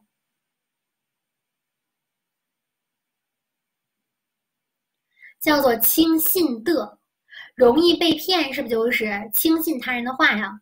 对不对？它表示的是轻信的啊，形容词轻信的。第五单词 muse，muse，在 museum 里面去 muse，哎，没错，它表示沉思啊，沉思。第六单词 blur，大家想想美图秀秀里面的 blur 干嘛的呢？blur，模糊，对吧？虚化、模糊，blur。下面 purge，大家想的是 pure。Pure purge, purge pure，哎，净化，对不对？净化。好，第八单词，flamboyant, flamboyant，火焰男孩，穿的像火焰一样的花里胡哨的，表示的是艳丽的、艳俗的啊，艳丽的、艳俗的，flamboyant。第九单词 parch，怕湿，怕湿就没水分，没水分就是使干燥、使干枯，对不对？parch，parch。好，第十单词 contemplate，contemplate，一起在寺庙当中去沉思思考，没错啊，一起在寺庙当中沉思思考。好，没有问题啊，这大家掌握不错。然后接下来继续往下，我们来看下一组单词，来一组连连看哈。来，所给单词 A B C D 连一下下面的图片。第一个单词 sports，sports。好，连的是第二张图片啊，马上要秃的不行了，这不连王子马上就要 sparse 了。第二个单词 deviant，deviant。你怕不是个变态吧？对不对？你看啊，这哪像变态呢？连的是四号图片。好，第三个 spout，spout，s p 开头都跟喷发相关，对吗？喷发，哎，连的是一，我们的小鲸鱼。第四个 mushroom，好，连的是像蘑菇一样快速的上升增长。好，没有问题啊，咱们来看一下这组单词。首先，第一个单词 sparse。表示的是稀疏稀少。那么这单词的词根来自于什么呢？来自我的 spears 啊，来来自我的这个 sorry spurs，来自我的 spurs，表示的是分散散开。那么这单词呢，其实它就相当于我们说的这个 spread，或者是大家可以理解成这个 a scattered，都可以。你看 S B 开头单词是不是都跟这个发散相关？spurs spread。spread spread 啊，分散发散，所以说你看，当你把这个东西给它分散开的时候，是不是就变得非常的稀疏稀少？这东西啊，分散开之后就变得稀疏稀少。那么好了，通过这个 spurs 这个词根，咱们来学几个单词。首先，disperse disperse 这里的 dis 表示是向四面八方 apart，向四面八方去怎么样呢？去 spread，去三分这个分散啊，去散发。所以说它表示是分散散布的意思。spears。咱们造个句子，说 The crowd s p e a r s e d quickly。给老师翻译一下，The crowd spears quickly。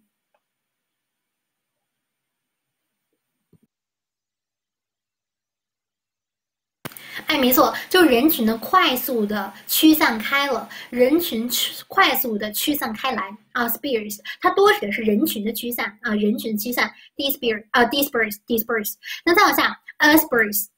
Asperse，a 放在这个动词词根的前边呢，表示加强的含义啊，就是加强去扩散，加强去散播你的坏话，传你的坏话。那么 asperse 啊，asperse 这单词表示的是诽谤啊，诽谤，加强去传播你的坏话，诽谤。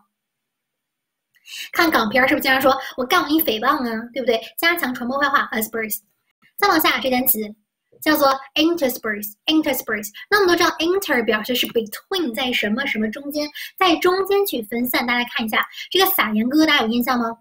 撒盐哥就是很魔性的那个表情包，对不对？他干嘛呢？撒盐，在我的这个食物上撒盐，就是起到一个点缀跟装点装饰的作用啊。intersperse 在中间取散，就是转这个点缀跟装饰的意思。比如说那些米其林米其林餐厅的大厨，是不是就是非常随意的，就是在完事结束这个烹饪的时候撒一把什么什么东西，就在点缀装饰这个餐盘，对吧？叫做 intersperse，中间去撒。好，那么这个 sparse 表示的是稀疏的，比如说威廉王子马上就变成秃头老大哥了，是吧？那么反义词是什么呢？反义词叫做 dense。比如说，你看。赵英俊的头发，这种爆炸蘑菇头是吧？据说来这是他天生的头发，没有经过任何的烫染是吧？哎，就非常的浓密啊，浓密叫做 dense 啊，浓密叫做 dense。我当时怎么记这个单词呢？当年我啊是这么记的，我就觉得这个 D 呀，这个大大的肚子里面可以装好多好多东西，D 的这个大肚子里面哈可以装很多很多东西，它就是浓密的 dense，大家可以这样去记。好，那我们来造个句子啊，造个短语，什么叫做这个？densely populated, densely populated，这是个非常固定的表达。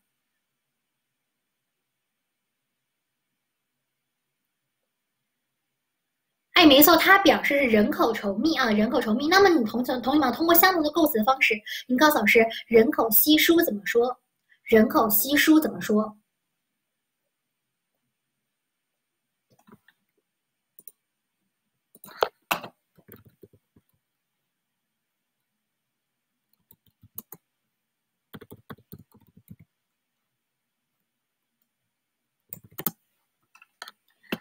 没错，叫做 sparsely populated 啊，sparsely populated 没有问题啊，这是一个非常固定的英文当中的表达，大家可以记一下。好，那么这单词呢，当然也可以指，比如说浓雾啊、浓烟啊，叫做 dense smoke、dense fog。浓烟 dense smoke，浓雾 dense fog。对，加了 ly 之后呢，就从形容词变成了副词。你看是不是形容词来修饰我 ed 的形式啊？Sorry，是不是副词 ly 结尾的副词来修饰我 ed 的形式，对吧？好，没有问题啊。接下来咱们来看下面这个 sparse 的同义词都有谁呢？首先第一个单词 scanty，scanty，下面 scant，在下面 scarce。这几个单词，如果说你非要找共同特点的话呢，它们都会跟这个 scar 刀疤啊这个单词意思非常的相近。刀疤是吧？scar。那你看，我们说人在江湖飘呀，哪有不挨刀啊？当别人砍你一刀之后，这地方愈合之后就会留个刀疤，对吗？为什么会留个刀疤呢？因为你这块缺了一块肉，缺了一块肉，表示的是缺乏的、不足的。scantily 啊，scant、scanty、scarce。中间大家休息吗？之前我问过，好像大家都是统一反馈不休息。是不是大家都是不休息？图书快对快管要快清了是吗？那休息不就是更讲不完了吗？可以不休对吧？上次我问过大家哈，我说要不要休息，大家说不休。好，不休息啊，对，咱们坚持，就马上就还有一会儿对吧？坚持坚持，马上下课了。Scan 啊，scanty scan scares 刀疤呃，只要产生刀疤，就是因为这块怎么样呢？少了一块肉啊，少了一块肉。好了，什么叫做 scanty knowledge？scanty knowledge。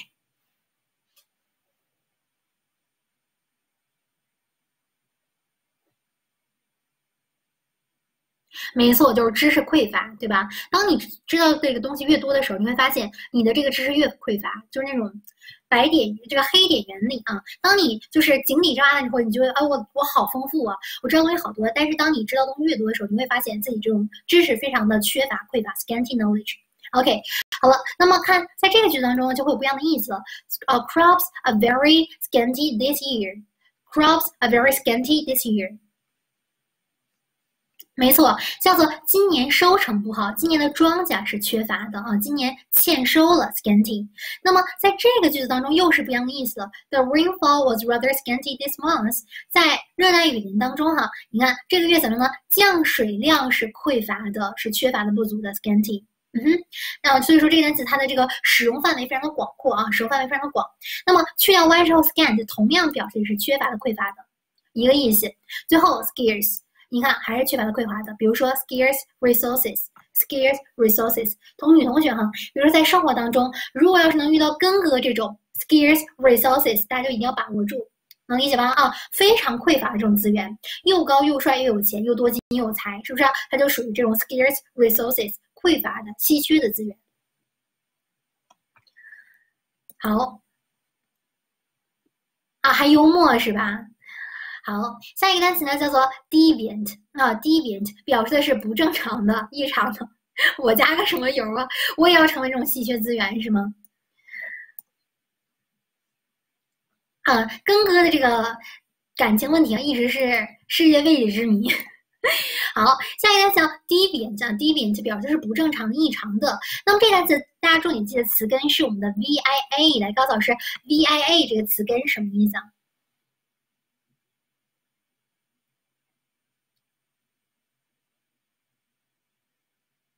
这个学了吧？这个学了吧？学了，我就记着，我应该讲所有单词都是确认过，大家学过，我才会给大家复习的。没有，没写，没讲呢。到底学没学呀？你没写，肯定没有啊。那可能就是，那这单词一会儿下节课讲了。那一会儿下节课讲吧，先不讲，一会儿跟哥给大家讲。行吧，啊，要不然又学个新单词，我怕有同学觉得大脑不够用。你们能接受得了我就讲，接受不了我就不讲。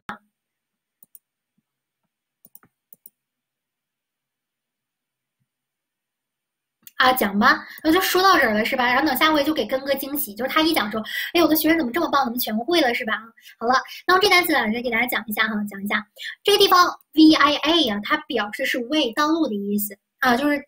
道路的意思。那你看，a n t 表的是一个人的后缀，d e 呢，它表的是 away 远离，远离正常道路的人。重新想一想，我们就是非主流，不走寻常路的人，就是那些变态的人，不正常的人。OK，重点记的是这个词根哈，v i a 表示 way 道路，远离正常道路的人，deviant 就是那些变态、不正常的、异常的人。那么同义换词呢，就是 abnormal。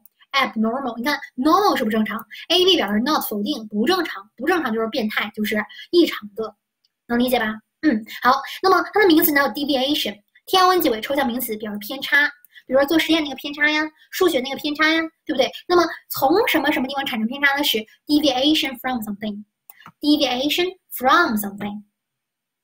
那么来造个句子，说 a mineral error or deviation may result in wide divergence。一个小小的失误跟偏差呢，就会造成一个非常大的这样的一个，呃，不同的结果，对不对？所以说它翻译成中文的这样的一个俚语呢，就是“好失之毫厘，谬之千里”。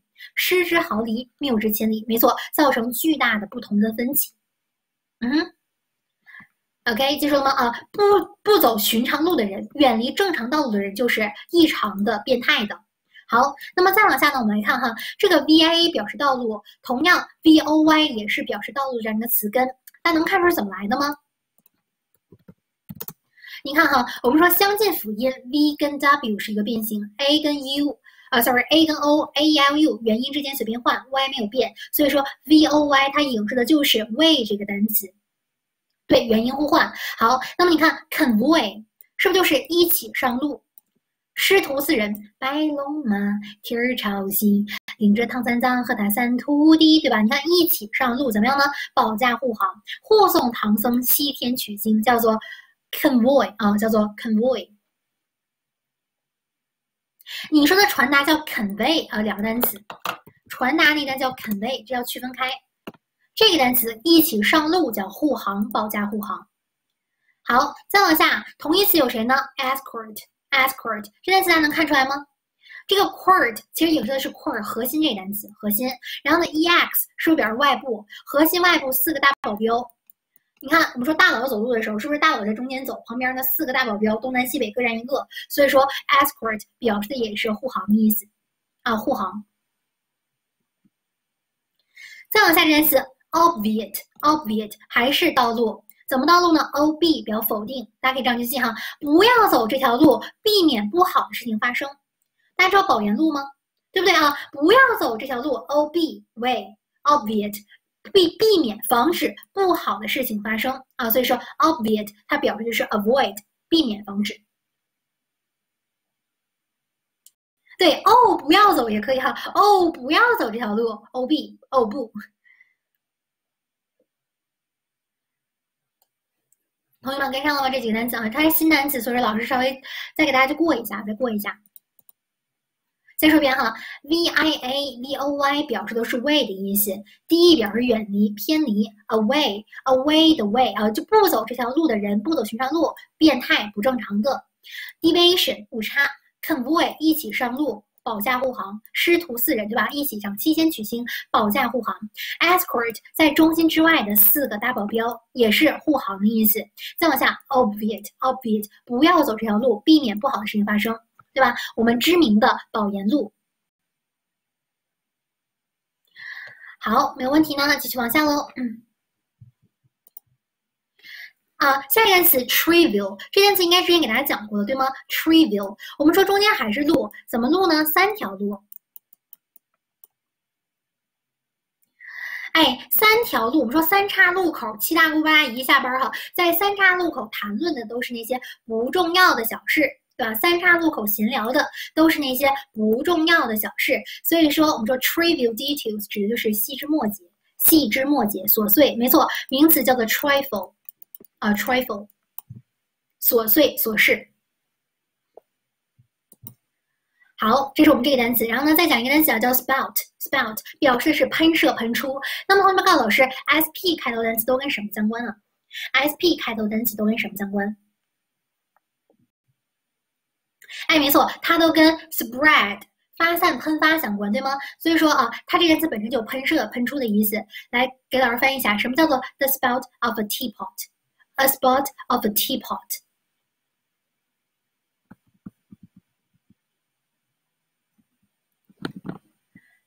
茶壶能够让它喷出的那个就是茶嘴。啊，不是花洒，teapot 是不是茶壶的意思？对吗？那个 spot 在这里是名字的意思，它表示那个茶壶让它喷出的那个嘴啊，叫茶嘴。就是整个连起来这个语块是茶嘴的意思，the spot of a teapot。茶壶的嘴，茶嘴，让它喷射而出的地方。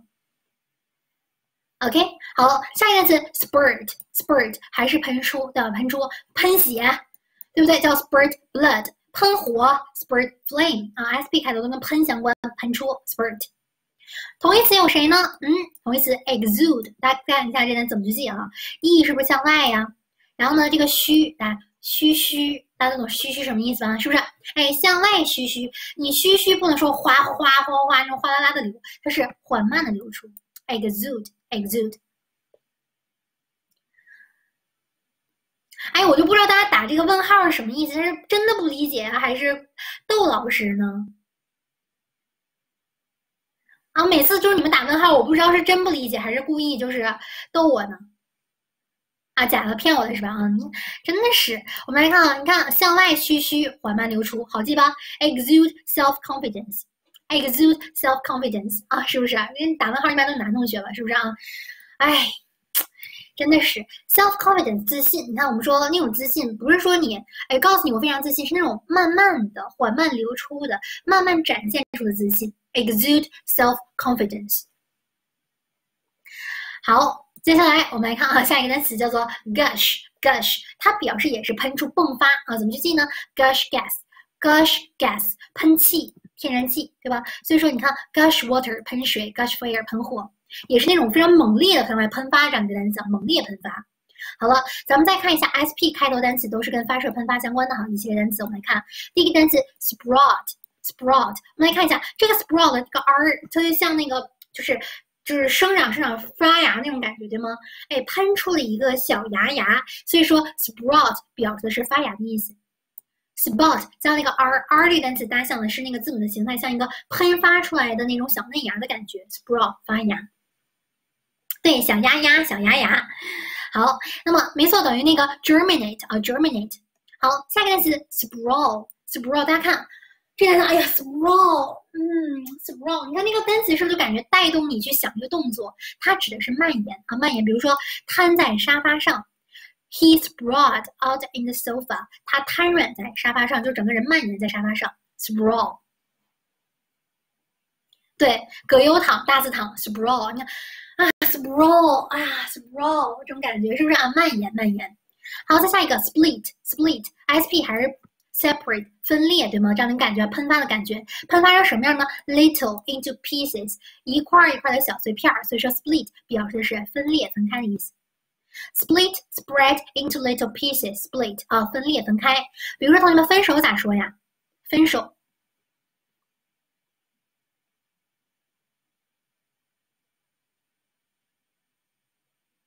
哎，没错，分手就是 split up。I split 呃 up with my boyfriend。我跟我男朋友怎么能分手了，对吧？它同样词就是 break up。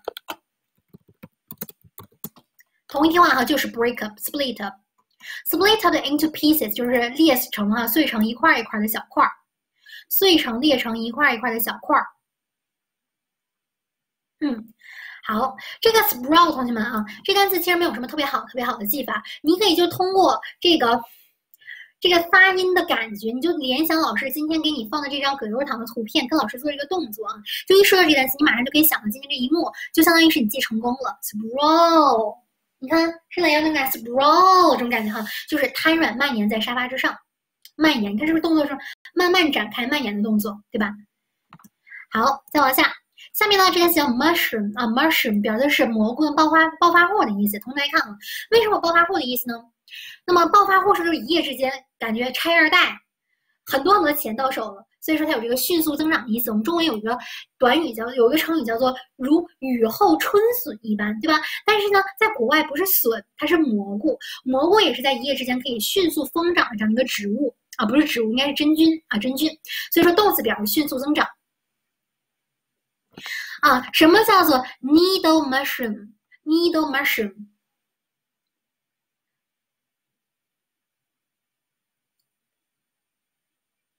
就是我们说的 see you tomorrow，哎，see you tomorrow，哎，没错，金针菇啊，比如说大家有没有吃这个火锅，特别喜欢吃这个 needle mushroom 的金针菇的，对吧？啊，没错，那就是我们说的一种菌类。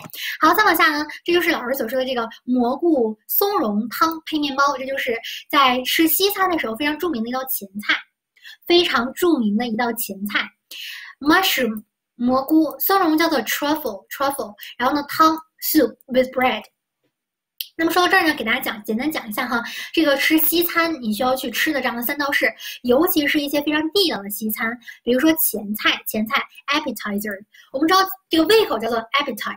那么在法语当中呢，会有一个就是祝你好好吃饭的这样的，祝你有个好胃口的这个说法叫 bon appétit，bon appétit。那么其实用到就是 appetizer 这个单词，让你开胃的东西就是我们的前菜，比如说会吃一些酸酸甜甜的 salad。或者是喝一杯这个浓汤是吧？一碗汤再加一些面包，有的时候的前菜吧上了一筐面包，对吧？我就特别实在，最开始吃的时候就把面包全吃了，发现吃不进去主菜了，那个贵的牛排什么的全都吃不进去了，很亏啊！所以说同学们，前菜就稍稍垫一下，开开胃就可以了，不要猛吃，非常的吃亏，是不是？后面的菜特别贵的吃不进去了。好，看着就饱，对不对？空空老师课非常的下饭啊，非常的下饭。好，再往下，除了这个 appetizer，祝你个好胃口以外呢，还可以说 starter，开始的一道菜，也是前菜，starter appetizer。那么进入到主菜的时候呢，你看这个单词是不是刚刚学过的 entry？entry 主菜，法语界的单词。还有呢，就是 main course，主要的这道菜，main course 也表示主菜。好，再往下，desserts 就是最后一道的甜品。有的时候，哎，吃都不行不行了，对吧？但是呢，甜品仍然可以吃进去。然后你会说，哎呀，我甜品的这个胃还可以吃，但其实一个胃，就是你想找点借口，是吧？再吃一个什么小布丁啊、小蛋糕啊之类的小呃冰淇淋呢啊，甜品。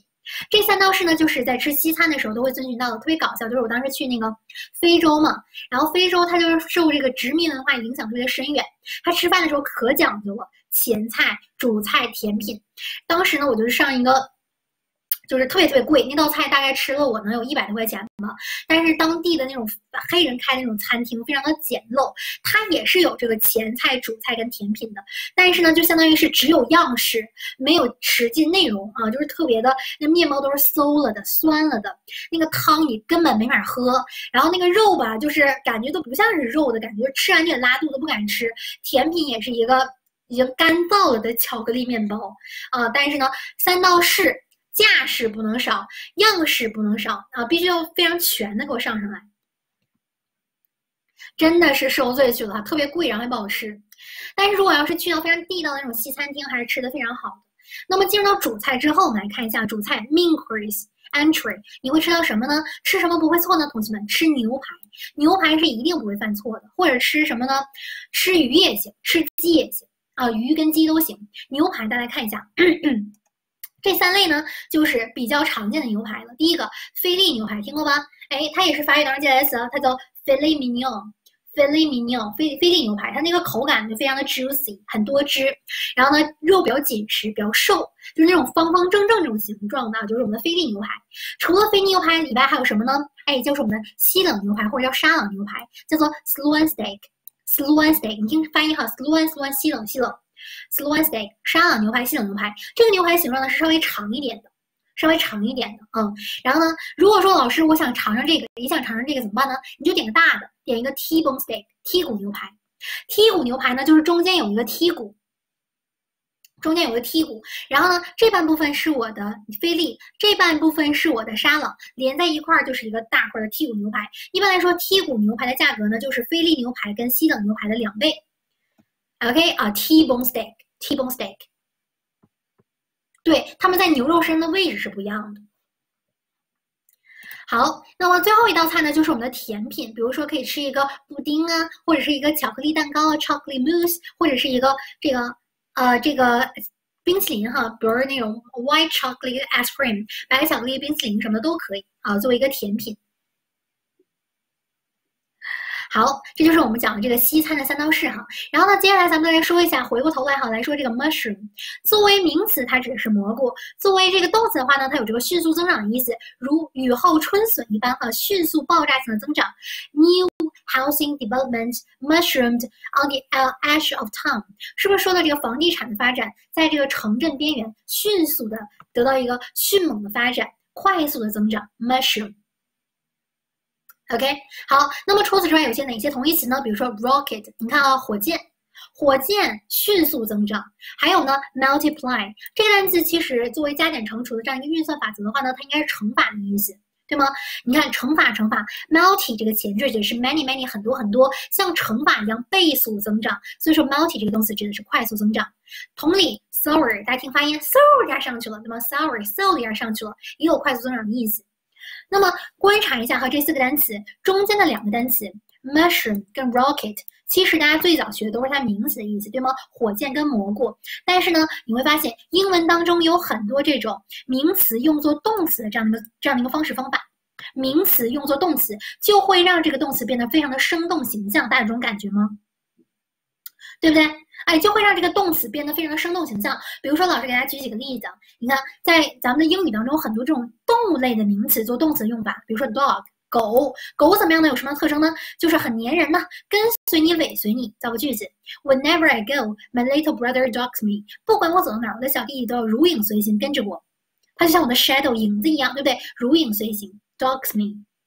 没错，词性的活用，词性的活用。好，再往下，你看。这个 monkey 猴子，猴子是不是就非常喜欢捣乱呢？喜欢乱搞，对吗？你看，don't monkey with my television，不要去给我换台。比如说你想看听新闻联播，然后你的小弟弟想看这个啊大耳朵图图，对吧？喜羊羊与灰太狼，那这个时候呢，你就可以用 monkey 这个词来形容它。Don't monkey with my television。再往下一个 wolf 狼，狼会怎么样呢？有个成语叫狼吞虎咽，那么这个英文的表达叫做 wolf down，wolf down，狼吞虎咽。啊，还原宝宝啊，wolf down，狼吞虎咽，像狼一样怎么能向下去吞东西、吃东西？再往下，ape parrot，不管是大猩猩还是我们的小鹦鹉，是不是都是鹦鹉学舌？然后猩猩是模拟人做一些动作，所以它这个模仿的意思。比如说同义单词有谁呢？咱们的 mimic、stimulate、imitate 都是 parrot 这几个单词的同义替换。好，哎，没错，狐狸，我们说有个这个形容词叫 foxy。Foxy，哎，是不是有首歌叫 Foxy 啊？还是叫 Fox？我忘了哈。它表就是狡猾的意思。嗯，狡猾，像狐狸一样狡猾。那 Fox 作为动词的话呢，表示欺骗、迷惑的意思。你看，是不是就感觉是骗你上钩，非常狡猾啊？Fox，欺骗、迷惑，deceive。好，再往下呢，我们来看身体的某些部位呢，其实也可以名词用作动词，比如说 back。那么作为身体的这个部位来讲的话，作为名词，它表示后背的意思，对吗？那么作为动词，We will back you plan。I will back you，我就会站你，我会怎么样的支持你？所以说，作为动词，其实它就相当于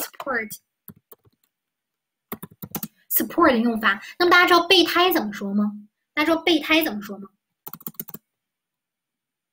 对我永远是你最坚实的备胎，这就是我最喜欢跟学生说的说哦说的话哈。我永远是大家最坚实的备胎。哎，没错，备胎叫做 backup。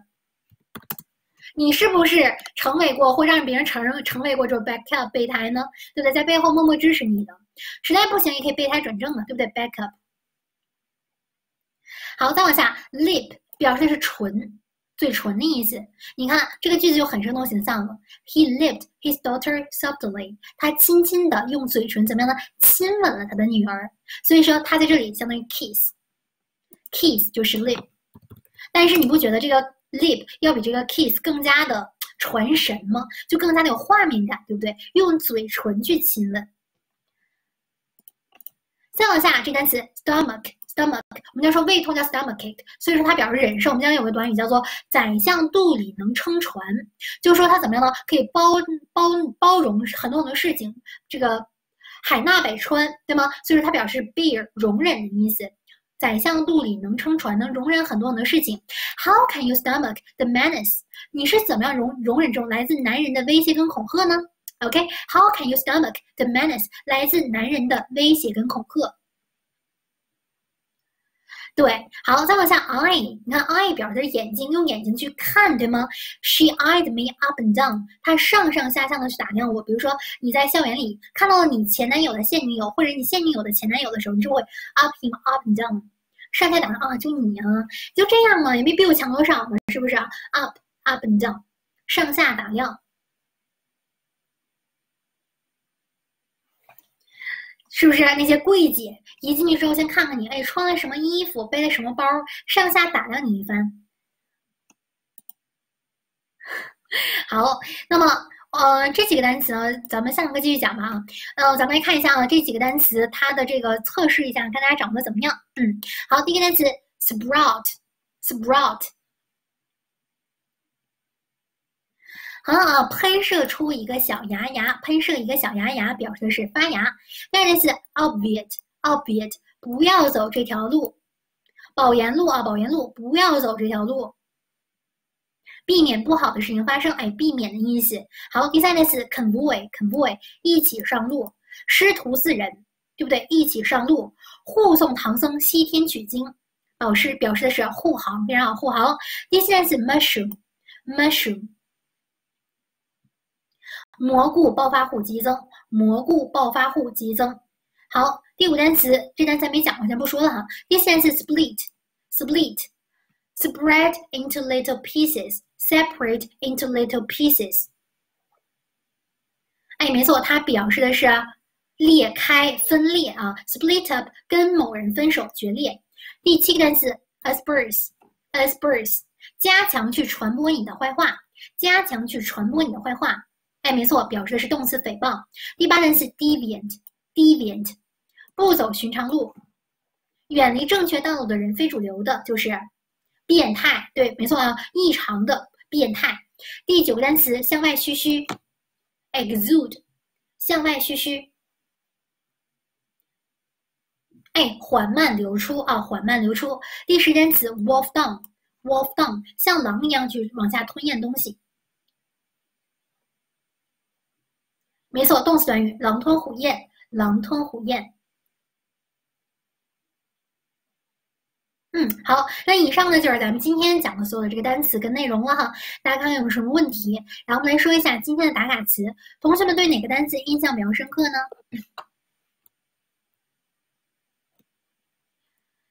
啊，对对对，今天还用想别的词呢。咱们的 can't，我们的行话，我们的黑话啊，enchanted。